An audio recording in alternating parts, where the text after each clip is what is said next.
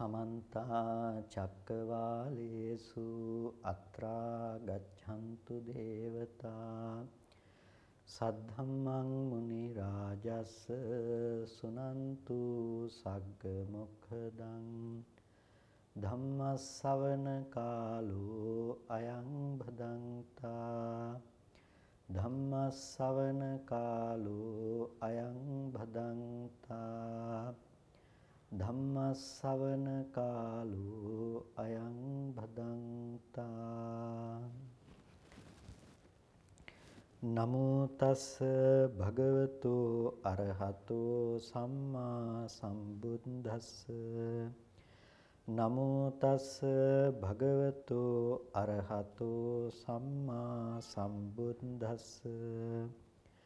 නමෝ තස් භගවතු අරහතෝ සම්මා සම්බුද්දස්ස. ශ්‍රද්ධා සම්පන්න කාරුණික පින්නතුනි හැම කෙනෙක්ම තුම් සද්ධර්ම ශ්‍රවණය සඳහා සූදානම් වන මොහොත. ලෝතර සම්මා සම්බුදුරජාණන් වහන්සේගේ බුද්ධ ශාසනයක් ලැබුණු අද වගේ දවසක ඔබ හැම කෙනෙක්ම ඊටාම අප්‍රමාදීව මේ ධර්මයේ තුල හැසිරෙන්නට අවශ්‍යයි. පින්තුනි මේ බුද්ධ ශාසනය ලේසියෙන් ඔබට ලබාගත හැක්කක් නෙමෙයි. වටිනා මනුස්ස ජීවිතයක් හිතන්නට පුළුවන් මනසක් මේ සෑම දෙම දුර්ලභ කාරණාවක්. ඒ සියල්ලම ඔබ ලබාගෙන තිබෙනවා. එහෙනම් ඒ සියල්ල ලබාගත් අද වගේ දවසක ඔබ ඊටාම අප්‍රමාදී වන්නට අවශ්‍යයි. පින්තුනේ ඒ අප්‍රමාදී වීම තුළ අපේ ජීවිතයට සැලසෙන්නේ මහත්ම අර්ථයක්, මහා ලාභයක්. ඇයි මහත්ම අර්ථයක්, මහා ලාභයක් සැලසෙන්නේ? පිනතුනේ යම් කිසි කෙනෙක් අප්‍රමාදී වීම තුළින් ඔහු සිද්ධ කරගන්නේ ස්වార్థෙමයි. තමාට යහපතක්මයි. ඒ වගේම තමන් එක්ක ජීවත් වෙන අනිත් අයටත් යහපතක්මයි. අන්න ඒ නිසායි අප්‍රමාදය ඊටාම වැදගත් වෙන්නේ. බුදුරජාණන් වහන්සේ නිරන්තරයෙන්ම දේශනා කරන්නේ සැපවත් වන මාර්ගය පිළිබඳව. ඒ සැපය ලෝකයේ තුල පවතින කිසිම දෙයකින් බිඳ හෙළිය නොහැකි උත්තරීතර සැපයක්. අන්නේ නිසයි චිත්තං දන්තං සුඛවහං කියලා දේශනා කළේ দমনය කරන ලද හිතයි සුව එලවන්නේ කියලා. එහෙනම් සැපය ලබා ගැනීම සඳහා කළ යුතු වෙන්නේ අපේ හිත দমনය කර ගැනීම. අපි ගොඩක් වෙලාවට ඒ සඳහා කරන්නේ භෞතික දේවල් සොයාගෙන ඒ පසුපස හඹා යෑම වුණත් ඒ කිසිම දෙයකින් පුළුවන් කමක් නැහැ පින්නතුනේ අපිව දුකෙන් නිදහස් කරන්නට දුකෙන් මුදවන්නට. ඒ අපි උරුමකම් කියන අපි ලබා ගන්න ලං කරගන්න සෑම දෙයක්ම අපිව දුකටපත් කරන්නට අපිව දුකෙන් තබන්නට හේතු වන දේවල්. ඒ හැම දෙයක්ම අපිව දුකකින් කෙලවර කොට තබන්නේ. අපි ජීවිත කාලය පුරාවටම ඒ ධන ධාන්‍ය, වස්තු සම්පත් ආදී දේවල් පසුපස්සේ හඹාගෙන ගියාට ඒ කිසිම දෙයකින් අපව සැපවත් කොට තබන්නට පුළුවන් කමක් නැත්තේ නැහැ. යම් විදිහකට නම් අපි උත්පත්තිය ලැබුවේ ඒ විදිහටම සියල්ල අතහැරදා යන්නට සිද්ධ වෙනවා. ජරා මරණ ධර්මයන් හමුවේ අපි ගොඩනගාගත්ත සියල්ලම පුහු දෙයක් බවට පත් වෙනවා. ලෝකයේ තුල ඔබට පුළුවන්කමක් ලැබේවි ඔබ ජීවත් වෙනකොට ඔබ වෙනුවෙන් වගකීම් ගන්නට ගොඩක් දෙනෙක් පත් කරගන්නට. ඒ වගේම ඔබට අසනීපයක් හැදුනොත් ඔබට වෛද්‍යවරු සිය දහස් ගණනක් ඔබට ලං කරගන්නට පුළුවන්කම ලැබෙයි. හෙද හෙදියන් ඔබට ළඟින් තියාගන්නට පුළුවන්කම ලැබෙයි. ඒ වුණාට ඔබේ වයසට යෑම දරා ගන්නට පුළුවන් කෙනෙක් එමත් නැතිනම් ඒකත් එක්ක හුවමාරුවක් කරන්නට පුළුවන් කෙනෙක් ඔබට කවදාවත් හොයාගන්නට ලැබෙන්නේ නැහැ. ඔබට දැනෙන වේදනාවක් ශාරීරික කායික වේදනාවක් එක මොහොතකට හරි හුවමාරු කරගන්න කෙනෙක් ඔබට ලෝකේ කවදාවත් ලැබෙන්නේ නැහැ. මරණය කරා ඔබ ලං වෙන සෑම අවස්ථාවකදීම ඒක හුවමාරු කරගන්නට පුළුවන් කෙනෙක් ඔබට ලැබෙන්නේ නැහැ. එහෙනම් ඔබ මොන තරාතිරමක ජීවත් වුණත් මොන මට්ටම තුල ඔබ වාසය කළත් ඒ සෑම දෙයක්ම අස්තිරයි. ඒ සෑම දෙයක් හමුවේම නොසෙල්වෙන සිතක් හදාගන්නට පුළුවන් නම් ඒක තමයි පින්නතුනි ලෝකේ වඩාත්ම සුව එළවන දේ බවට පත්වන්නේ. ලෝකයා කම්පාවන කිසිම තැනක කම්පා නොවන මනසක් මොනතරම් නිවුණු තැනක්ද? දුක කියලා කියනකොට ඉපදීම, ලෙඩවීම, මරණය, මහලු බව වගේම අපි ශෝක වන පරිදේවයේ හඬන වැළපෙන විලාප තියෙන මේ සෑම දෙයක්ම දුක කියලා බුදුරජාණන් වහන්සේ හඳුන්වා දෙන්නේ. එතකොට මේ සෑම දෙයක්ම අපි වේදනාත්මකව හොඳින් හඳුනා ගන්නා දේවල්. ඒ සෑම තැනකම නොසෙල්වෙන හිතක් හදාගන්නට බැරිකම නිසා මේ සත්‍ය සසරේ අනන්ත අප්‍රමාණ කාලයක් දුක් විඳිනවා. පටාචාරාව පිස්සියක් වගේ දුවගෙන ගියේ හිත හදානුගත්ත නිසා. කිසා ගෞතමිය මලදරුවා ඔසවාගෙන ගියේ හිත හදාගන්නට නොහැකිකම ලැබුණු නිසා. මහා දරුණු හිතක් තිබුණු අඟුලිමාල නිවුණු හිතක් ඇති මහරහතන් වහන්සේ නමක් බවට පත් උනේ හිත හදාගත්ත නිසා. දුක් විඳපු පටාචාරාවන් කිසాగෞතමී වැනි අයවලුන් නිවි සැනසුනේ හිත හදාගත්ත නිසා. ලෝකයේ තුල ධනයෙන් බලයෙන් උගත්කමින් ලබන්නට බැරි උත්තරීතර දෙයක් තමයි සිතේ සැනසීම උපදවා ගැනීම. සැනසීමක් නැති තැනක රජකමද සිටුකමද කිසිම දෙයකින් ඇති වැදගත්කමක් ඇත්තේ නැහැ. සෑම තැනකම සිත් තැවුලින් වාසය කරන්නට වෙනකොට ඒ කිසිම දෙයක් හමුවේහි වටිනාකමක් Tamanට දැනෙන්නේ නැහැ. දවසක් ධර්මාශෝක රජුරෝන්ගේ මලනුවන් රජුරෝන්ගෙන් විමසා සිටියේ ඔබ ඇයි භික්ෂුන් වහන්සේලාට මෙච්චර ගෞරව දක්වන්නේ? ඔවුන්ට ගෞරව කරන්නට කිසිම හේතුවක් නැහැ කියලා. මේ පිළිබඳව ප්‍රායෝගික පාඩමක් රජුරුව තමන්ගේ සොහොයුරාට උගන්වනවා.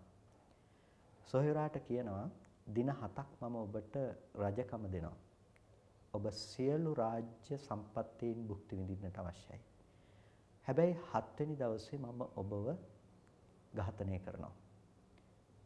ඔබව මරණයට පත් කරනවා. එහෙනම් ඔබ මේ දින 7 සුවසේ රාජ්‍ය සුව අනුභව කරන්නට කියලා ඔහුට රාජ්‍ය පවරලා රජු විවේක ගන්නවා දවස් 7කින් පස්සේ කැඳවනවා ධර්මාශෝක රජුරුන්ගේ කතාව ඔබ කවුරුත් දන්නවා චණ්ඩාශෝක කාලෙදී ඒ ඔහුගේ ක්‍රියාකලාපයන් පිළිබඳව ඉතින් තමන්ගේ සොහොයුරා දින 7කට පස්සේ නැවත කැඳවලා අහනවා කොහොමද? ඔබ සුවසේ හිටියද? මේ මේ සියලු රාජ්‍ය සම්පත්තිය භුක්ති විඳින්මින් ඔබ සැපසේ වාසය කළාද මේ දින 7 කියලා? එහෙම අහනකොට කියනවා ස්වාමීනි මම කොහොම සතුටින් ඉන්නද? මම කොහොම රජ සැපත් අනුභව කරන්නද? දවස් 7කට පස්සේ මැරෙන මරණය ගැන හිත හිත මම මහ වේදනාවකින් මම මහ දුකකින් තැවෙමින් හැම මොහොතකම කාලය ගත කළේ. ස්වාමීනි ඒක හිතන්නට බැරි තරම් මහ වේදනාවක් හරි අමාරු දෙයක් දරන්නට අමාරු දෙයක් මෙන්න මේ වෙලාවේදී රජුරෝ කියනවා එහෙනම් ඔබට දින 7කට පස්සේ එන මරණය ගැන හිතනකොට ඔබ ඔච්චර තැවුණා. හැබැයි මේ භික්ෂූන් ධර්ම මාර්ගය තුල ගමන් කරන අයවලුන් ඊළඟ මොහොතේ තමන් කරා පැමිණෙන මරණය පිළිබඳව මෙනෙහි කරන අය. ඒ අය ඔබ වගේ තැවීමක් නැතුව, දාහයක් නැතුව සිතේ සැනසille හිත හදාගෙන වාසය කරනවා. ඒකම ප්‍රමාණවත් නේද? ඔවුන්ට වන්දනා කරන්නට කියලා. පින්තුනේ ඒක තමයි හිත හදා ගැනීමෙහි තිබෙන වෙනස්කම. ලෝකයා ශෝක කරන තැන ශෝක නැතුව ඉන්න පුළුවන්කම තියෙනවා. ලෝකයා දුක් විඳින තැන දුක උපද්ද ගන්න නැතුව වාසය කරන්නට පුළුවන්කම තියෙනවා. ලෝකයා සසර ගමනක ගමන් කරනකොට අපිට නතර වෙලා නිවෙන්නට පුළුවන්කම තිබෙනවා. ඒ නිසා මේ ධර්මය උත්තරීතරයි. බුදුරජාණන් වහන්සේ අපට මඟ පෙන්වුවේ දේශනා කළේ ඒ උත්තරීතර නිවීම, ඒ උත්තරීතර දහම් මඟ අපි කොහොමද අපේ ජීවිතයට ප්‍රායෝගිකව යොදාගන්නේ කියන දේ පිළිබඳව. එනිසා ඔබත් උත්සාහවත් වන්නට ඕනේ නිවීම ඔබේ ජීවිතය තුළ ඇති කරගන්නට. ඒ සැනසීම ඔබේ ජීවිතය තුළ උපදවා ගන්නට. ඒක තමයි ඊටාම වැදගත්ම දේ බවට පත්වන්නේ. ඒ නිවෙන මඟ මොකද්ද? ඒ නිවෙන මාර්ගය මොකද්ද? ඒ අපි විමසා බැලිය යුතුයි. බුදුරජාණන් වහන්සේ හැමදාම උත්තරයක් දුන්නේ ලෝකයාට විඳින්නට වෙන ලෝකයාට තිබෙන ප්‍රශ්නවලට උත්තරයක් විදිහට. බෝධිසත්වයන් වහන්සේ ගිහිගේ අතහැරලා යන්නේ ලෝකේ පවතින යම් සත්‍යතාවයක් දැක්ක නිසා. මොකක්ද ඒ සත්‍යතාවය? වේදනාත්මකව සත්වයා කරා පැමිණෙන දුක උන්වහන්සේ දැක්කා. අපි කියනවා සතර පෙර නිමිති දැකීම තුළ උන්වහන්සේ ඒ දුක සහ දුකෙන් මිදෙන ක්‍රමවේදයක් ගැන යම්කිසි දෙයක් සොයා යා යුතුයි කියන හැඟීම ඇති කරගත්තාය කියලා. එතකොට ලෙඩවීම, මහලු බව, මරණය කියන දේවල් උන්වහන්සේ සමාජය තුළ පවතින මිනිසා කරා පැමිණෙන දේවල් හැටියට දැක්කා. Tamanටත් ඒ දෙයට උරුමකම් කියන්නට සිද්ධ වෙනවා කියන දේ අවබෝධ කරගෙන මේ දෙයට උත්තරයක් හොයාගන්නට තමයි ගිහිගේ අතහැරලා ගියේ. උන්වහන්සේකට උත්තරේ හොයාගත්තා. එහෙනම් මේ ධර්මයේ තුලින් අපිට පුළුවන්කම තියනවා ඒ දේ නැති කරලා දාන්නට. මොන දේද? ජරා මරණ ජරා මරණ දුක නැති කරන්නට. නැතිනම් ජරාව, ලෙඩවීම, මරණය කියන මේ දේවල් නැති කරලා දාන්නට පුළුවන්කම තියෙනවා. ඒ නිසා තමයි මේ ශාන්තිපද සංඛ්‍යාත නිර්වාණය පිළිබඳව අපි හඳුන්වනකොට අජරාමර නිවනයි කියලා කියන්නේ. ජරා මරණ නැති නිර්වාණයක් කියලා. ඒ අජරාමර සංඛ්‍යාත නිවන පිළිබඳව අපි හඳුනා ගන්නකොට පින්නතුනි අපි කොහොමද මේ නිර්වාණය අවබෝධ කර ගැනීම පිණිස අපේ මාර්ගය ප්‍රතිපදාව ඉලක්කගත කරගන්නේ කියන කාරණාව අපි අවබෝධ කර ගැනීම, තේරුම් ගැනීම ඊටාම වැදගත් වෙනවා. පින්නතුනි අපි බලනකොට විශේෂයෙන්ම අපිට දකින්න පුළුවන්කම තිබෙනවා අපි ලෝකේ කවුරුත් එක සමානව ජරා මරණ දුක විඳිනවා. දුක ගැන විස්තර කරනකොට බුදුරජාණන් වහන්සේ ලෝකෙට පැමිණෙන වේදනාත්මක දුක තමයි ඉස්සෙල්ලම පෙන්වා දුන්නේ.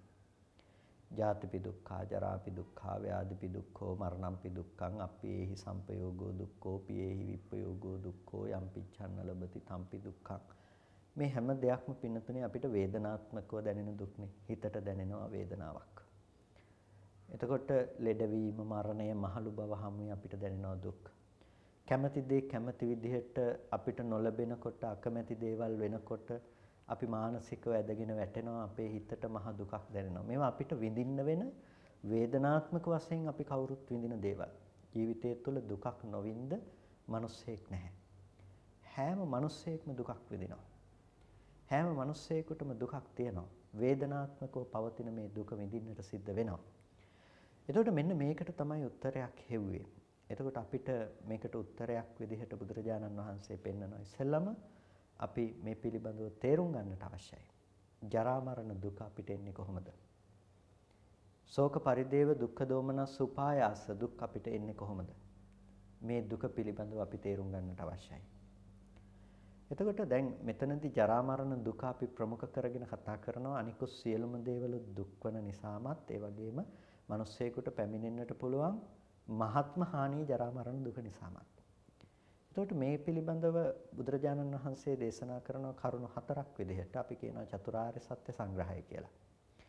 ඒ තමයි ජරා මරණම් පජානාති, ජරා මරණ සමුදයම් පජානාති, ජරා මරණ නිරෝධම් පජානාති, ජරා මරණ නිරෝධගාමිනී පටිපදංච පජානාති. ජරා මරණය හඳුනා ගන්නවා ජරා මරණ නිරෝධය, ජරා මරණ සමුදය හඳුනා ගන්නවා. ජරා මරණ නිරෝධය හඳුනා ගන්නවා ජරා මරණ නිරෝධගාමිනී ප්‍රතිපදාව පිළිබඳව හඳුනා ගන්නවා. එතකොට ජරා මරණය හඳුනා ගන්නවා. අපි කොහොමද ජරා මරණය හඳුනාගන්නේ? ජරා මරණය අපි හඳුනාගන්නේ ජීවිතයට පැමිණෙන ජරා මරණ දුක තුළ. ජරා මරණ දුක තුළ කියන්නේ ඔබ ඔබේ මනස පැත්තට ඔබේ හිත පැත්තට ඔබ ටිකක් හැරිලා බලන්න. ඔබ තරුණ වයසේ ඉන්න කෙනෙක් නම් ඔබේ පොඩි කාලෙට ඔබ මනසින් පොඩ්ඩක් ගමන් කරලා බලන්න. ඔබට පෙනේ ඔබේ පොඩි කාලයට වඩා ඔබ දැන් පරිණත වෙලා ඔබේ කය ඊට වඩා වැඩිලා ඊට පස්සේ පසු අවධියකට අවුරුදු තව 10ක් 15ක් 20ක් එහාට බලන්න ඔබ වයසට යන පුද්ගලයෙක් බවට පත් වෙනවා. ඒ වගේම ඔබ මැදි වයස කෙනෙක් නම් ඔබ බලන්න තව අවුරුදු 20ක් ඉස්සරහට සහ 20ක් ආපස්සට. එතකොට ඔබට පේනවා මේ කය ක්‍රමක්‍රමයෙන් පරිහානිය කරා යනවා කියලා. ඔබේ කෙස් ගස් ඉදෙනකොට මූණේ හැම ටිකෙන් ටික රැලි වැටිලා යනකොට ඔබේ අතපය වේදනා දෙන්නට පටන් ගන්නකොට වසඟයටපත් නොවෙනකොට මේව වෙවුලන්න පටන් ගන්නකොට දත් දිරනකොට ඔබට මොන වගේ හැඟීමක්ද තේරෙන්නේ ඔබට මොන වගේ හැඟීමක්ද දැනෙන්නේ ඔබේ ඔළුවේ නරකසක් ඇති වෙනකොට කෙස් ගස් ටිකක් ඉදෙනකොට ඔබට මොන වගේ අදහසක්ද ඇති වෙන්නේ? මූණේ තිබුණ පැහැපත් බව, හැම ඇදුණුකම ටිකක් අඩු වෙලා ගිහිල්ලා හැම එකතු වෙලා රැලි වැටෙන්න පටන් ගන්නකොට ඔබට මොන වගේ දෙයක්ද දැනෙන්නේ? එතකොට දැනෙනවා මම ටිකක් වයසට යනවා කියන එක. මට වෙනද වගේ දැන් දේවල් කරන්න බෑ අපිත් දැන් වයසයි කියලා ඔබට දැනෙන්න පටන් ගන්නවා. ඒකම පින්නතුනි ලෝකයේ ඔබ අසරණ ස්වභාවයට පත් කරන තැන දක්වා යනවා. අනිත් අය කතා කරන දේ මොකද්ද කියලා ආපහු ඕනෑ කමින් අහගෙන ඉඳලා අහලා තේරුම් ගන්න වෙන දවසක් ඔබට උදා වෙනවා. අත කකුල තියෙන තැන නෙමෙයි තියෙවෙන්නේ වෙන තැනක තියෙවෙන්නේ. අතපය Tamanට වසඟයටපත් නොවන තැනකටපත් වෙනවා. ඔබට ඒ ස්වභාවයට පත්වන්නට සිද්ධ වෙනවා. ඒ తත්වයට ඔබ අනිවාර්යෙන් මුහුණ දෙනවා. ඒ නිසා අපේ ජීවිතේ අපි කවුරුත් ඒ ජරා දුක කියන දේ භුක්ති විඳින්නට සූදානම්ව සිටිය යුතුයි. එතකොට අපි ඒ විදිහට ජරා දුක ඔබ කරා පැමිණෙන විදිහ ගැන ඔබ ටිකක් හිතලා බලන්න. මරණයටපත් වෙන දුක පිළිබඳව ඒ දුක ඔබ කරා පැමිණෙන්නට පුළුවන් විදිහ ගැන පොඩ්ඩක් හිතලා බලන්න. එතකොට ඒ දුක ඔබ කරා පැමිණෙන්නට පුළුවන් කියලා ඔබට දැනෙනකොට අපි එකෙන් මිදෙන්නට මොකද්ද කරන්න ඕන කියන කාරණාව ගැන ඔබට යම් අවබෝධයක් ධර්මයේ තුලින් ඔබටම ලබා ගන්නට පුළුවන් වෙයි. ජරා මරණම් පජානාති කියලා දේශනා කරනකොට ජරා මරණය දන්නවා ජරා මරණය දකින්නවා කියලා කියනකොට මේ ජරා මරණය පිළිබඳව දකින බව අපිට තව පරයයකින් කතා කරන්නේ. මේකම අපිට ඇතුළත් කොට කියන්න පුළුවන් මොකක්ද? දුක්ඛංච පජානාති. දුක දන්නවා. දුක්ඛංච පජානාති දුක පිළිබඳව දන්නවා දුක පිළිබඳව හඳුනා ගන්නවා ඒක තමයි ඊළඟ ක්‍රමවේදය. එතකොට දැන් ජරා මරණය දන්නවා කියන්නේ ආ දුක හඳුනා ගන්නවා. දුක හඳුනා ගන්නවා කියන්නේ පින්නතුනේ අර වේදනාත්මක දුක කියන දේ පමණක් මේ වේදනාත්මකව දුක හඳුනා ගන්නට අපිට 아무තුවෙන් ධර්මය සම්මර්ෂණය කරලා මේක ඇතුලේ උත්සාහවත් වෙලා කරන්න දෙයක් නෙමෙයි නේද අපිට වේදනාත්මකව විඳිනවා. විඳීම තුළ ලැබෙන දේ අපි අමුතුවෙන් හොයාගෙන යන්න අවශ්‍ය නැහැ නුවණින් දකින්න යන්න අවශ්‍ය නැහැ. හැබැයි එතන තියෙනවා ඇත්තක්. එතන තියෙනවා යථාර්ථයක් ඒ තමයි දුක. එනිසා අපි තේරුම් ගන්නට ඕනේ ජරා මරණය කියන තැන තියෙනවා කරුණු දෙකක්. ඒ තමයි ජරා මරණ ධර්මය සහ ජරා මරණ දුක. මේක ඊටාම වැදගත් දෙයක්. ජරා මරණ ධර්මය සහ ජරා මරණ දුක. ඒ කියන්නේ ධර්මයන්ගේ ජරාවක් තිබෙනවා. තේසන් තේසන් ධම්මානං ජරා ජීරණතා කියලා කියන්නේ ඒකට. ඒ ඒ ධර්මයන්ගේ ජරාවක් වයසට යෑමක් දිරීමක් තිබෙනවා. ඒ ඒ ධර්මයන්ගේ සිද්ධ වෙන දෙයක්. තේසන් තේසන් ධම්මානං ජරා ජීරණතා. එතකොට මේ ධර්මයන්ගේ ජරා ජීරණතාවයක් සිද්ධ වෙනවා වගේම පිනතුනේ අපි අද විඳින තැන තියෙන්නේ මොකද්ද? ඒ ධර්මයන්ගේ ජරා ජීර්ණතාවයද? නෑ. තේසන් තේසං සත්තානං තම්හි තම්හි සත්තනිකායේ කණ්ඩිච්ඡං පාලිච්ඡං වල්ලිච්ච වල්ලිච්චචතා එතකොට දත් කැඩෙන බවක් තියෙනවා නම් කෙස් ඉදෙන බවක් තිබෙනවා නම් හම රැලි වැටිලා යන බවක් තිබෙනවා නම් ආයුෂයේ ගෙවිලා ගිහිල්ලා මරණයට ටිකෙන් ටික ලං වෙන බවක් තියෙනවා නම් මෙන්න ජරා දුක ජරා දුක මේ දේවල් හැමෝම අපි දුක උපද්ද ගන්නවා. ඇයි? තේසං තේසං සත්තානං තම්හි තම්හි සත්තනිකායේ ඒ ඒ සත්වයන්ගේ ඒ ඒ සත්වනිකායේ ඔවුන්ට භුක්ති විඳින්නට වෙන ඔවුන්ට අත්විඳින්නට වෙන දෙයක්. මගේ හැම රැලි වැටෙනවා, මගේ කෙස් සිදෙනවා, මම දුකටපත් වෙනවා. මේක ඔවුන්ට භුක්ති විඳින්නට සිද්ධ වෙන අපිට භුක්ති විඳින්නට සිද්ධ වෙන දෙයක්. ඒ කියන්නේ පින්නතුනි ලෝකයේ ස්වභාව ධර්මයක් තිබෙනවා. ඒ ධර්මය අපි පුද්ගලයෙක් කියලා ග්‍රහණය කරගන්නකොට කෙනෙක්ගේ කියලා අපි අල්ල ගන්නකොට කෙනෙක්ගේ කියලා අපි හිතනකොට ඒක පස්සේ අපි යනකොට මොකද්ද වෙන්නේ? අන්න අපිට මම දිරනවා මම ලෙඩ වෙනවා මම මැරෙනවා ඒ දුක අපි කරා ගලාගෙන එනවා. ඒක තමයි මේ දුක්ඛේ ප්‍රාරම්භය දුකේ හට ගැනීම දුකේ ගලාගෙන යෑම ජීවිතයේ. එතකොට මෙන්න මේ දුකෙන් ගලාගෙන යන එක අපි නතර කරගන්නට අවශ්‍ය වෙන්නේ. එතකොට මේ දුක මේ විදිහට ඇති වෙලා තියෙන අර දුක්ඛ ධර්මතා ටිකක් අනුව පිනතුනේ ඔබේ ගෙවත්ත දිහා ඔබ බලන්නකෝ. ගෙවත්තේ පැලෑටි ගස් කොළන් තියෙනවා. මේ දේවල් මැරිලා යනවා. මේ දේවල් ලෙඩ වෙනවා. මේවා ටිකෙන් ටික මරණය කරා ගමන් කරනවා. ඔබට හිතෙනවද මම ලෙඩ වෙනවා මම මැරෙනවා කියලා? නොහිතෙනවා නම් ඔබට එතන දුකක් නැහැ. ඔබ ඒක ඒ විදිහට දකින්න නැත්නම් ඔබට ඒ බඳු සංඥාවක් නැත්නම් ඔබට ඒ බඳු සිතීමක් නැත්නම් ඔබට ඒ බඳු දැනගැනීමක් නැත්නම් වෙනතුනේ ඔබට එතන දුකක් නැහැ. ඔබට දැනෙන්නේ මම වයසට යනවා කියලා එතනදී දැනෙන්නේ නැහැනේ. එතන දුකක් නැහැ ඒ නිසා ඔබට. බුදුරජාණන් වහන්සේ අහන්නේ භික්ෂුන් වහන්සේලාගේ මහණෙනි මේ ජේතවනාරාම භූමියේ තියෙන දැව දඬු තන ආදී දේවල් යම් කිසි මිනිස්සු ඇවිල්ලා මේ දේවල් අරගෙන යනකොට මහණෙනි ඔබලට හිතෙනවද අම්හේ ජනා හරතිති අපිව මිනිස්සු ඇවිල්ලා අරගෙන යනවා කියලා ඔබලට හිතෙනවද කියලා අහනවා. ස්වාමීනි නෑ අපිට එහෙම හිතෙන්නේ නෑ කියන. ඇයි? ඒ දේවල් මම නෙමෙයි. ඒ දේවල් මගේ නෙමෙයි. ඒ දේවල් මගේ ආත්මේ නෙමෙයි. එතකොට පින්නතුනේ මේ රූපය කියන්නේ මමද? මේ රූපය කියන්නේ මම නෙමෙයි. රූපය කියන්නේ මගේ දෙයක් නෙමෙයි. මගේ ආත්මවත් වූ දෙයක් නෙමෙයි. එහෙනම් මොකද්ද? මේක කනබන ආහාරයෙන් හැදිච්ච දෙයක්. පිනතුනි ගහකට පුළුවන්කම තියෙන එතන ප්‍රාණයක් නැති වුණත් පොළවේ තියෙන ඕජාසාරය උරාගෙන ඒ ගහ වැඩෙන්න පුළුවන්කම තියෙනවා. හිතනවද පිනතුනි මේ කයට විඥානයේ බැසගෙන නොතිබුණේ නම් මෙබඳු වැඩිමක් වර්ධනයක් වෙයි කියලා? මේ මොහොතේ මේ කයෙන් විඥානයේ පහ වුණොත් මොකද වෙන්නේ? මේක අතහැරලා දාපු දර කඩක් වගේනේ. දර කඩේ වැඩිමක් නැහැනේ. දර කොටේක වර්ධනයක් නැහැ. ඒක මොකද්ද වෙන්නේ? ටික ටික ටික ටික මොහොතින් මොහොත දිරලා යනවා විතරයි. ඒ වගේ මේ කයෙන් විඥානය අපගත වුණොත් මොකද වෙන්නේ? මොහොතක් මොහොතක් ගානේ. ගත වෙන තප්පරයක් තප්පරයක් ගානේ මේකේ ස්වභාවය වෙනස් වෙලා විකෘති වෙලා මේක ඉදිමිලා නිල් වෙලා පණුව ගහන තත්ත්වයටපත් වෙන්නේ නැද්ද? පත් වෙනවා. එතකොට මේ කය මමද? මේ කය මම නෙමෙයි. එහෙනම් මේක මට ඕන විදිහට තියාගන්න පුළුවන්ද?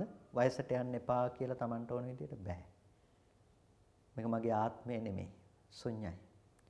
කනබුන ආහාර ප්‍රත්‍යයෙන් ඉපදුණු දෙයක්.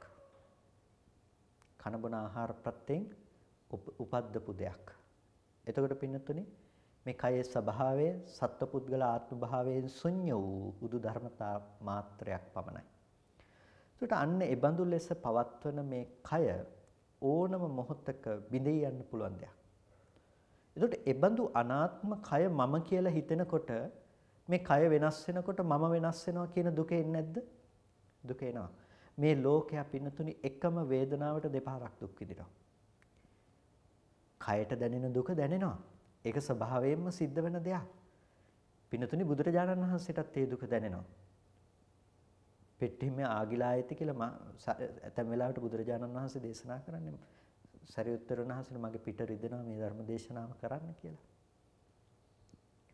අවසාන කාලේදී බුදුරජාණන් වහන්සේ 80 වයස් වෙලා ඉන්නකොට බුදුරජාණන් වහන්සේ දේශනා කරන්නේ පිපාසිතෝස්මි ආනන්ද කිලමතෝස්මි ආනන්ද ආනන්ද මට පිපාසයි ආනන්ද මට ක්ලාන්තයි සම්බුදු සිරුරටත් වේදනාව දැනුණා රහතන් වහන්සේලාටත් වේදනාව දැනෙනවා. ඒක කය පරිහරණය කරන තාක් මේ කය ඇසුරු කරගෙන සිත පවතිනවා නම් වේදනාව කියන දේ දැනෙනවා. වේදනාවේ නෙමෙයි ප්‍රශ්නේ තියෙන්නේ. ප්‍රශ්නේ තියෙන්නේ මොකද්ද? ඒ වේදනාව ගෙනෙනු ලබන කය මම කියලා හිතනකොට වේදනාවක් විඳිනවා. අනේ මම ලෙඩ වුණානේ කියලාත් විඳිනවා. පිනතුනේ අසෘතවත් පෘතජ්ජනයින්ට වැඩිපුරම තියෙන්නේ මම ලෙඩ වුණානේ කියලා හිතෙන් ඇති කරගන්න ලෙඩේ. හිතන්නකෝ පැයක් තිස්සේ ඔබට ඔළුව කැක්කමක් හැදිලා තියෙනකොට ඔබ විඳින්නේ මේ මොහොතේ කයත් ස්පර්ශයත් නිසා හටගත්ත දුක්ඛ සහගත කාය වේදනාවද ඔබ විඳින්නේ? එහෙම නැත්නම් ඔබ විඳින්නේ මේ පැයක් තිස්සේ මට හරි අමාරුයි මගේ ඔළුව රිදෙනවා කියන වේදනාවද කියලා? ඔබ විඳින්නේ අනේ මට පිළිකාවක් දැන් මම මැරෙනවා කියන දේ නෙමෙයිද ඔබ වැඩිපුර විඳින්නේ? ඔබ විඳින්නේ කය කය පරිහරණයෙන් එන වේදනා මාත්‍රේ විතරද කියලා බලන්නකෝ. පින්නතුනි වැඩි කොටසක් තියෙන්නේ. මානසිකව කය අනුව අපි උපද්ද ගන්න දුක. එතකොට මේ වැඩිපුර තියෙන ඒ දුක මානසික දුක නම් අපිට ඒ දුක නැති කරන්න පුළුවන්කම තියෙන දෙයක්ද බැරි දෙයක්ද? ඒ දෙක අපිට නැති කරන්න පුළුවන්කම තියෙන දෙයක්. මොකද්ද කරන්න ඕනේ? පින්නතුනි ලෙඩ වෙනකම, දිරණකම ස්වභාවය කරගත්ත මේ කය මම කියලා දකින්න එක කෙනෙකුට අයින් කරගන්න පුළුවන් නම් මගේ කියලා දකින්නකම අයින් කරගන්න පුළුවන් නම් මගේ ආත්මය කියලා දකින්නකම අයින් කරගන්න පුළුවන් නම් රූපය දිරනකොට ඔහුට දිරන රූපය අනුව මම දිරනවා කියන අදහස ඇති වෙන්නේ නැහැ. අපිට ගැටලුව තියෙන්නේ ජරා මරණ දුක හම්බ වෙන්නේ ජරා මරණ දුක විඳින්න සිද්ධ වෙන්නේ ජරා මරණ ධර්මය මම කියලා පේන නිසා. ජරා මරණ ධර්මය මගේ අය කියලා පේන නිසා. ඔබට ඔබ වටේට ඉන්න ඔබ ආදරය කරන අය දිරනවට වයසට යනවට ලෙඩ වෙනවට මැරෙනවට ඔබ කැමති නැහනේ. හැබැයි ලෝකෙ ඉන්න හැම කෙනෙකුටම විඳින්න සිද්ධ වෙනවානේ. Taman එක්ක ඉන්න Taman ආදරය කරන අය ලෙඩ වෙන දුක, මරණයටපත් වෙන දුක විඳින්න සිද්ධ වෙනවානේ. ඇයි? පිනතුනි ලෙඩවීම කියන ධර්මය අපි Tamanගේ පැත්තේ උපදවන නිසා. ලෙඩවීම කියන දේ අර අනාත්ම රූපය මම දන්න කෙනෙක් කියන දේ Tamanගේ පැත්තේ උපදව ගන්නකොට ආදරණීය කෙනෙක් කියලා Tamanගේ පැත්තේ උපදව ගන්නකොට එයා ලෙඩ වෙලා කියලා හිතෙනකොට දුක දැනෙනවා. වෙන දෙයක් නිසා නෙමෙයිනේ. හිතනකොට දුක දැනෙනවා. Tamanගේ හිත ඇතුලේ පුද්ගලයා ජීවත් කරවගෙන මෙච්චර කල් මගෙත් එක්ක ආදරෙන් හිටියා නේද කියලා ඒ ගැන හිතනකොට එන දුක ඔබ දකිනවා දැන් මේ මරණයත් එක්ක ආපු දුකක් හැටියට. ඇත්තටම දුක එන්නේ මරණයත් එක්කද? එහෙමත් නැතිනම් ඔබ ඒ තැනක ඔබ උපද්ද ගන්න අර සංකල්පනා ටිකක් එක්කද? පිනතුණිය දුක හදාගන්නේ මේ පැත්තේ. එතකොට අපිට පේනවා ජරා මරණ දුක කියන දේ හැම වෙලාවකදීම උපදින්නේ ඒ ඒ සත්ව පුද්ගලයින්ට. ඒ රූපේ මම කියලා පේනකොට මගේ අය කියලා පේනකොට තමයි රූපේ පැත්තෙන් දුක ගලාගෙන එන්නේ. අපිට පේනවා නම් හටගත්තු රූපේ ඉතුරු නැතුව නැති වෙන ධර්මයක් හැටියට ඒ රූපය කියන ධර්මය හමුවේ පින්නතුනේ ඇත්තේ නැහැ. ලෙඩවීම කියලා දෙයක්. රූපය කියන ධර්මය හමුවේ ලෙඩවීම කියන දේ ඇත්තේ නැහැ. වේදනාව කියන ධර්මය හමුවේ ලෙඩවීම කියන දේ ඇත්තේ නැහැ.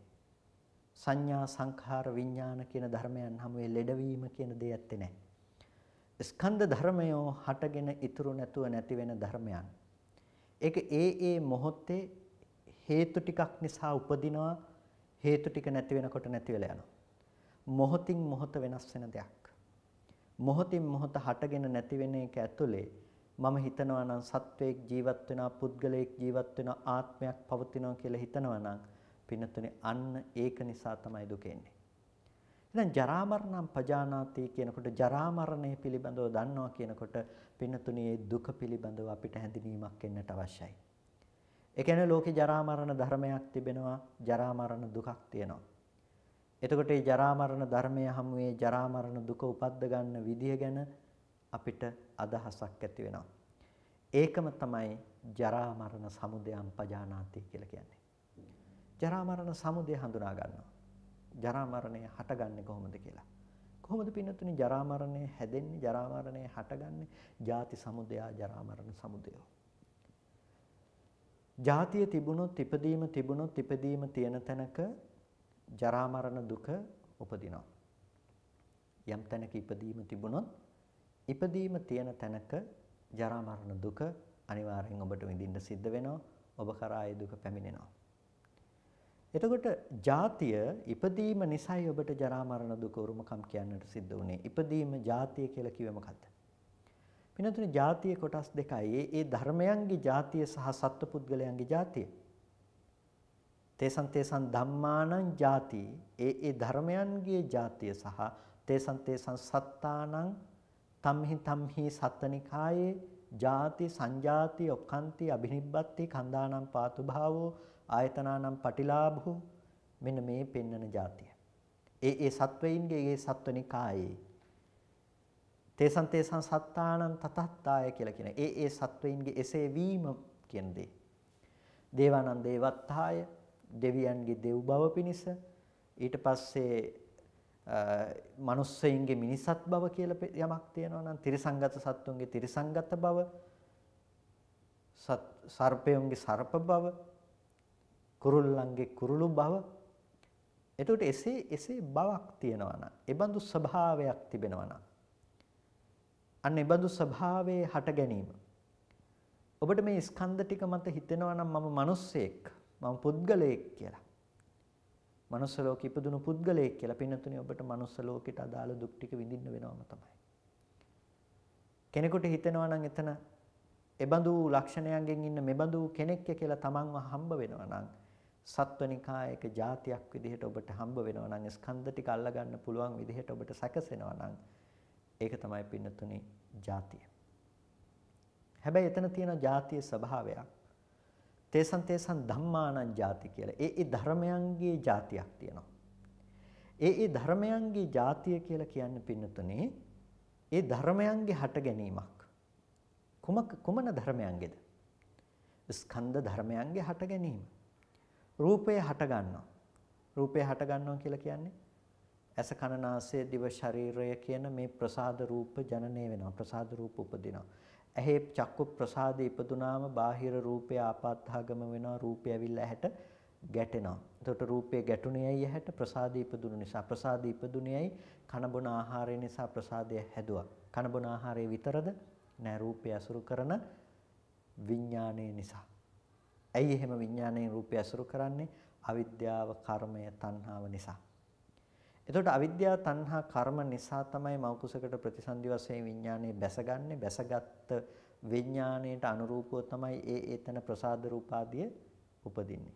එතකොට ඔබට යම් රූපයක් ඇහැට පේනවා නම් ඔබට රූපේ පේන මම මේ පැත්තේ හම්බ වෙනවා නම් ඔබට මේ දැනෙන මාව හම්බ වෙනවා නම් ස්පර්ශ වෙන විඳින ඇහෙන මේ මම හම්බ වෙනවා නම් ඔබට ඉබඳු රූපයක පහළවීමක් සිද්ධ කරලා තියෙන මේ හේතු ටිකක් නිසා. අවිද්‍යාව, කර්මය, තණ්හාව සහ ආහාර ප්‍රත්‍යය. යම්කිසි වේදනාවක් ඔබට දැනෙනවා නම් වේදනාව උපදින්නේ ස්පර්ශ ප්‍රත්‍යයෙන් ඇහැට රූපයක් ගැටුණොත් තමයි එතන වේදනාවක් උපදින්නේ.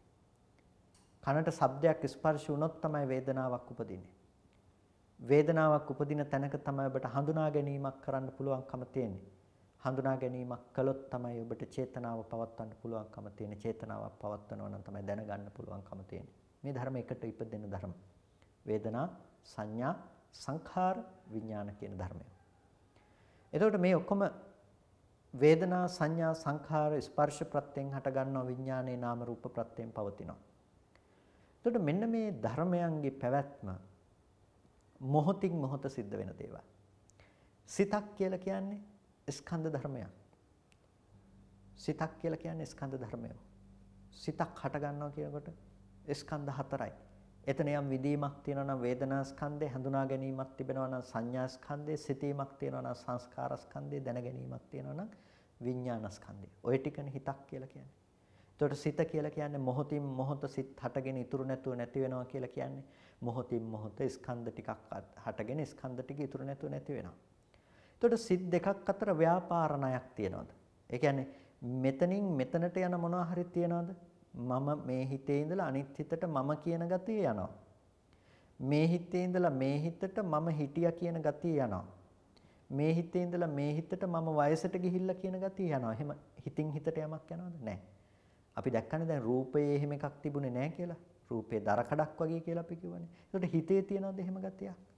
පින්නතුනේ හිතෙත් එහෙම එකක් නැහැ. හිත මොහොතින් මොහොත හටගෙන ඉතුරු නැතුව නැති වෙනවා. එහෙනම් මොකකද අපි පුද්ගල ආත්ම සංඥාවන්ගෙන් ඇසුරු කරන්නේ? මේ ස්කන්ධ ටික පුද්ගලයෙක් කියලා මට පේනවා නම් පුද්ගලයෙක් කියලා පේන තැනක ඔබට ජරා මරණ දුක ශෝක පරිදේව දුක්ඛ දෝමනස් උපායාස මේ හැම දෙයක්ම ඔබ කරා ගලාගෙන එනවා ඒ ඔබට නතර කරන්න පුළුවන් කමක් නැත්තේ නෑ. ඒක කිසිම විදිහකින් ඔබට නතර කරන්න පුළුවන් කමක් නැත්තේ නෑ. ඒ නිසා ඔබ ඒ දේ නවතාලිය යුතුයි. ඔබ ඒ දේ නවතාලිය යුතුයි. ඔබ ඒ දේ නතර කරන්නට ඕනේ. නතර කරන්නට ඕනේ නම් ඔබ කළ යුත්තේ මොකද්ද? ජාති නිරෝධා ජරා මරණ නිරෝධෝ. ජාති නිරෝධයෙන් ජරා මරණ නිරුද්ධය නිරුද්ධ වෙන්නේ. එහෙනම් ජාතිය නැති කරන්න ඕනේ. ජාතිය නැති කළොත් තමයි පින්නතුනේ ඔබට මේ ජරා මරණ දුක නැති කරන්නට පුළුවන්කම තියෙන්නේ. ඒ කියන්නේ ජාතිය නැමැති දුක නැති කළොත් ඔබට පුළුවන්කම තියෙනවා ජරා මරණය නැමැති මේ දුක නැති කරලා දාන්න. එහෙනම් ඔබ සිද්ධ කළ යුතු දේ වෙන්නේ මොකද්ද? ජාතිය නැමැති දුක නැති කරලීම. ජාතිය නැමැති දුක නැති කරලීම තමයි ඔබ සිද්ධ කළ යුතු දේ බවට පත් වෙන්නේ. කොහොමද ජාතිය නැති කරන්නේ? අයමේව අරියෝ අට්ඨංගිකෝ මග්ගෝ ජාති නිරෝධ ගාමිනී පටිපදා. නැතිනම් ජරා මරණ නිරෝධ ගාමිනී පටිපදා. මේ ආර්ය අෂ්ටාංගික මාර්ගය තමයි ජරා මරණ නිරුද්ධ කරන්න තියෙන ක්‍රමය. දැන් ප්‍රතිපදාවක් පනවනවා බුදුරජාණන් වහන්සේ. මොකද්ද? ජරා මරණය නැති කරන්න ඕනේ නම් ඔබට පුළුවන් කමක් නැහැ ඒක බෙහෙත් බීලා කරන්න. ඔබට පුළුවන් කමක් නැහැ වයසට නොයා ඉන්න. ඔබ ඔබ යනවා. తాවකාලිකව ඔබ මොන දේවල් කරන්න හැදුවත් ඔබ වයසට යනවා. ඔබ මරණයටපත් වෙනවා. ඔබට බෑ ඒ දුක එතනින් නැති කරන්න. එහෙනම් ඒකට තියෙන ක්‍රමයක්. ඒක ඒ තමයි ආර්ය ශ්‍රාංගික මාර්ගය.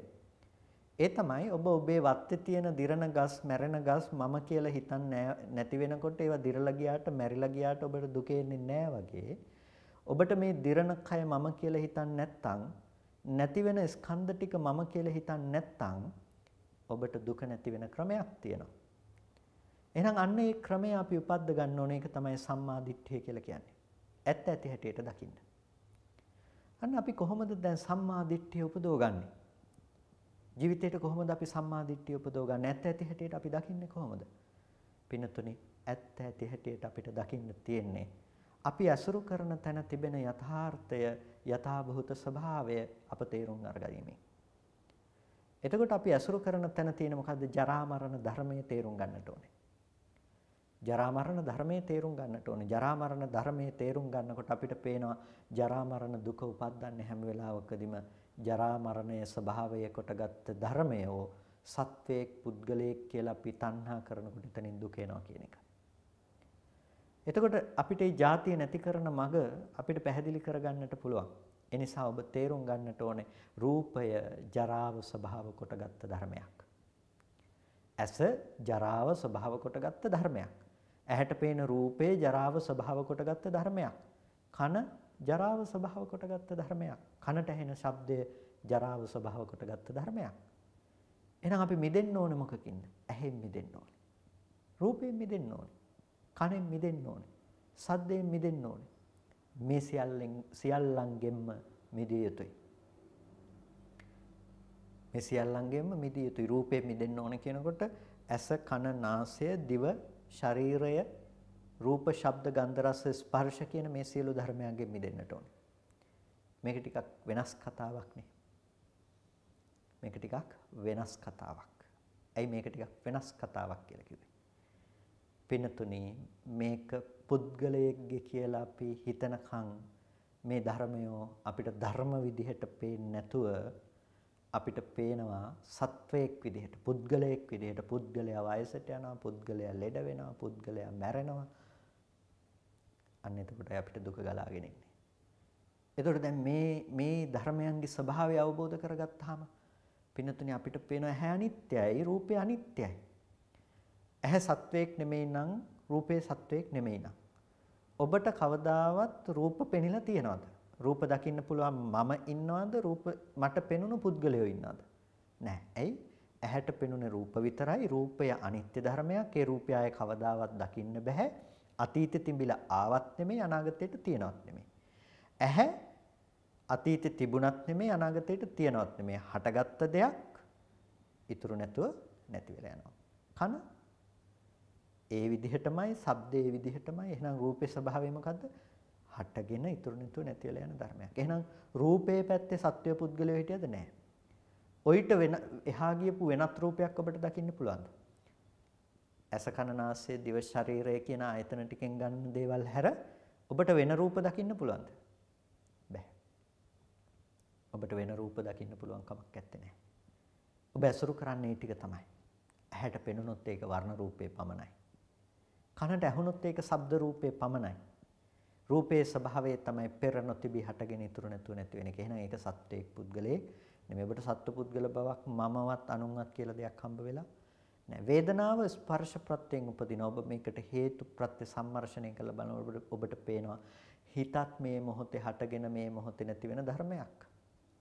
රූපයත් හටගෙන නැති වෙන ධර්මයක්. එහෙනම් මේ එකක්වත් සත්පුද්ගල ආත්ම භාවයක පවතින දේවල් නෙමේ හටගෙන නැතුව යන ධර්මතා සමූහයක් පමණයි කියලා.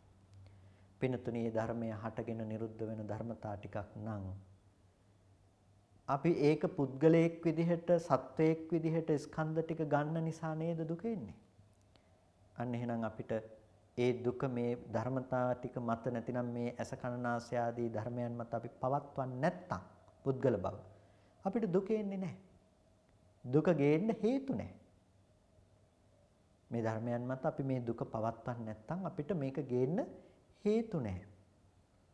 ඇහැ පැත්තේ මම ඉන්නවා නම් රූප දකින මම ඉන්නවා නම් මට වයසට යන්න පුළුවන්, ලෙඩ වෙන්න පුළුවන්, දුක එන්න පුළුවන්කම තියෙනවා. මට පේන අය ඉන්නවා නම් ඒක ඇතුලේ මගේ අය ඉන්නවා, පිට අය ඉන්නවා, වටින දේවල් නොවටින දේවල් තියෙනවා. ලැබීම් නොලැබීම් දුක එන්න පුළුවන්. හැබැයි පින්නතුනි මට රූපේ පැත්තේ එකක්වත් නැත්නම් රූපේ නිරුද්ධ නම්. නිරුද්ධයි කියන්නේ ඔබට ඇහැට රූප පේන්නේ නැතිලා ගිහිල්ලා නෙමෙයි. රූපේ නිරුද්ධයි කියලා කියන්නේ මොකද්ද? රූපේ නිරෝධය ප්‍රත්‍යක්ෂ කරලා ඔබ දකිනවා ඇහැට එනවනම් වර්ණ රූප මාත්‍රයක්. ඒක මේ මොහොතේ හටගෙන ඉතුරු නැතුව නැති වෙලා යන දෙයක්. ඒක මේ පෙනුනට පස්සේ ආයෙත් තියෙනවත් නෙමෙයි, පේන්න කලින් තිබිලාවත් නෙමෙයි. එතකොට ඔබට හම්බෙනවා පුද්ගලයා තුළ ගොඩනැග ලෝකය කියලා ගොඩනගා ගන්න දේ. ඒකේ අනිත්‍යතාවය බුදුරජාණන් වහන්සේ පෙන්වුවේ. ඒක ප්‍රත්‍යක්ෂ කරනවා. ඒක තමයි සම්මා දිට්ඨිය කියලා කියන්නේ. ජරා මරණ ධර්මය කියලා කියන්නේ ඒකට. හටගත්ත ධර්මය ඉතුරු නැතුව නැති වෙනවා. එතකොට මේ ජරා මරණ ධර්මයේ පිළිබඳව ඔබ ප්‍රත්‍යවේක්ෂා කරනකොට අර ජරා මරණ දුක උපද්ද ගන්න සත්වපුද්ගල බවට මොකද වෙන්නේ? ඒක නොහට ගන්න බවට යනවා. ඇයි? ඔබට දැන් පුද්ගලයෙක්ගේ පැත්මක් පේන්නේ නැහනේ. පුද්ගලයෙකුගේ පැත්මක් නැත්තම් ස්කන්ධ ටිකක් තුළ පුද්ගලයෙක් දිරන්න පුළුවන්ද? පුද්ගලයෙක් මැරෙන්න පුළුවන්ද? මේ දෙකටම ඉඩක් නැහැ. පිනතුන එතන ජරා මරණ දුක නැහැ. ජරා මරණ දුක මිදිලා. ජරා මරණ දුක නැති කරපු පුද්ගලයෙක් ඉන්නවද? නැහැ. එහෙම පුද්ගලයෙක් ඉන්නවා කියන්න පුළුවන් කමකුත් නැහැ. ඒ නිසා බුදුරජාණන් වහන්සේ අපට ධර්ම දේශනා කළේ මේ දුක අපි කොහොමද නැති කරන්නේ දුක නැති කරන තැන ප්‍රතිපදාව අපි කොහොමද අපේ ජීවිතයට උපද්දගන්නේ කියලා.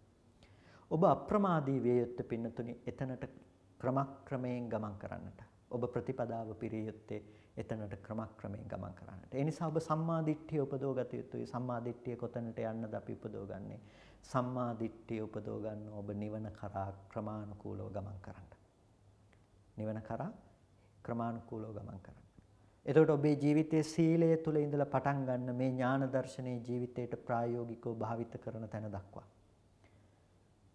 ඔබ ජීවිතයේ එදිනෙදා හම්බෙන අරමුණු තුල නොසැලෙන විදිහට ඔබ හොඳට දකින්න පුරුදු වෙන්න ස්කන්ධ ටිකක් විදිහට ඔබටම තේරෙයි දුකට පදනම නැති වෙලා යනවා කියන එක. තරහ අමනාපයන්ට පදනම නැති වෙනවා කියන එක. ඇලීම් සහගත අරමුණු වලට පදනම නැති වෙනවා කියන එක. පිනතුණ එක තමයි නිවෙන්න පුළුවන් ක්‍රමය. ඒක තමයි හිත හදාගන්න පුළුවන්, හිත දමනය කරගන්න පුළුවන් ක්‍රමය. ඒකට අප්‍රමාදී වන්නට කියලා ඔබට බොහෝම කල්යාණ මිත්‍ර භාවයෙන් සිහිපත් කරනවා. ඉතින් කල්පනා කරගන්න අද දවසේදීත් ඔබ සියලු දෙනාම මේ විදිහට වටිනා කුසලයක් සිද්ධ කරගන්නට යෙදුණා. සද්ධර්ම ශ්‍රවණය කරලා යෝනිසෝ මනසිකාරයේ පවත්තලා වටිනා කුසලයක් සිද්ධ කරගත්තේ මේ සිද්ධ කරගත්ත සියලුම කුසල ධර්මයන් අපි මේ වෙලාවේදී අනුමෝදන් කළ යුතු අයට අනුමෝදන් කරමු. පළමුවෙන් අපට අර්ථයෙන් ධර්මයෙන් අනුශාසනා කරන අපේ ධර්මාචාර්ය අවසරයි මාංකඩවල සුදස්සන ස්වාමීන් වහන්සේට අවසරයි මාංකඩවල නන්දරතන ස්වාමීන් වහන්සේට ස්වාමීන් වහන්සේලා දෙනමටම උතුම් නිවනින් සැනසීම පිණිස හේතු පාරමිතාවක්ම වේවා කියලා ප්‍රාර්ථනා කරනවා. ඒ වගේම මේ සියලු කුසල ධර්මයන් සියලු දෙවියන්ටත් අපි අනුමෝදන් කරනවා. දෙවියෝ මේ පින් සතුටින් සාදුනාදයෙන් අනුමෝදන් වනු ලබත්තා. දෙවියන්ට මේ පින් උතුම් නිවනින් සැනසෙන්නටම හේතු උපනිශ්‍රයම වේවා කියලා සාදු කියලා දෙවියන්ටත් පින් අනුමෝදන් කරමු. ඒ වගේම අද මේ ධර්ම දේශනාවේ දායකත්වයෙන් කටයුතු කරන ජේ.ඩබ්ලිව් චතුර මහතා සහ ටිලානි සුබසිංහ මහත්මිය විසින් ඒ පින්වත් පිරිස බලාපොරොත්තු වෙනවා 2021 12 12 වෙනි මාසේ 17 වෙනි දිනට තමන්ගේ ජන්මදිනය සමරන පළමුවෙනි ජන්මදිනය සමරන ටියානා විජේනායක දියණියට නිදුක් නිරෝගී ආයු වර්ණ සැප බල ප්‍රඥාව සැලසේවා කියන ඊටාම සත්පුරුෂ අදහස ඇතිවයි මේ උතුම් ධර්ම දානයේ කුසලයේ සිද්ධ කරන්නේ.